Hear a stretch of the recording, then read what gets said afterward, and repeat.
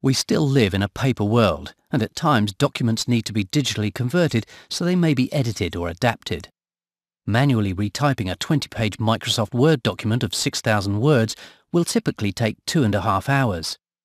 With eCopy PDF Pro Office, the conversion time is reduced to less than two minutes.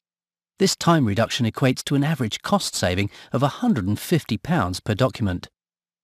In this demonstration, we feature the document conversion functionality. It enables users to accurately and automatically convert any PDF file to fully editable document formats. There are two ways to launch this feature. One, we select eCopy PDF Pro Office from the Windows Start menu. This will give you three actions to choose from. We want the PDF Converter Assistant. 2. We launch eCopy PDF Pro Office and select a PDF document through File Open and then go to the Tools drop-down in the main menu bar and select Launch PDF Converter or use the shortcut icon, the red hexagon.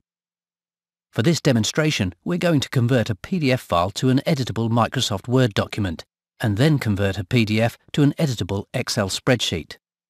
Let's locate a PDF file which we'd like to convert into a Microsoft Word file. Click File and Open. This PDF document has structured text, different coloured text and nestled tables. Our converter will accurately preserve this original structure. Let's use the Document Conversion shortcut menu. Clicking on it provides us with a drop-down submenu of 11 options. From these, we can choose what type of document we would like to convert this PDF to.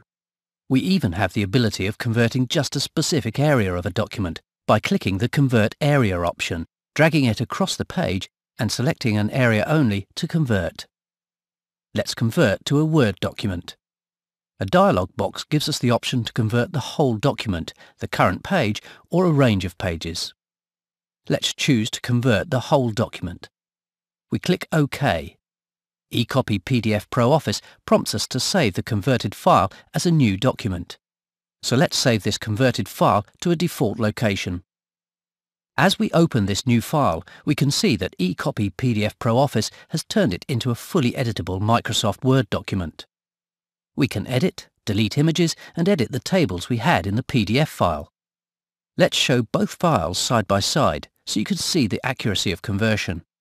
The fonts, bolding, colours and tables have all been maintained. We'll now look at converting to an Excel format. Let's open our second PDF example. This multi-page file contains tables and various symbols. We go to our Document Conversion hexagon and select Excel Spreadsheet from the drop-down submenu. Again, a dialog window appears giving the option of converting the whole document, current page, a range of pages, or selected pages. Let's select the whole document option. The Save As window appears, so we can save our converted file, and we're done. If we open the PDF and the new Excel file, we can see how accurate the structure has been maintained and that we have a single flowing spreadsheet. Quick and easy.